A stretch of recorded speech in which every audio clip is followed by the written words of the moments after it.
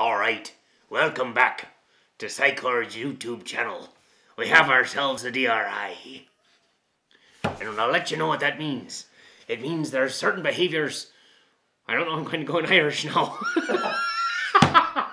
anyway, certain behaviors that are incompatible. Differential reinforcement of incompatible behaviors. For instance, I've had kiddos where they have a stimulatory response or some type of uh, tantrum, if you will, where they're doing something like this and they can't do anything else and they can't get stuck or they get stuck in this pattern and they have TAs that prompt them to go and it's completely incompatible. Now they have to keep their hands closed and you're going to reinforce them for keeping their hands closed because they're no longer doing this and making a big scene in the mall.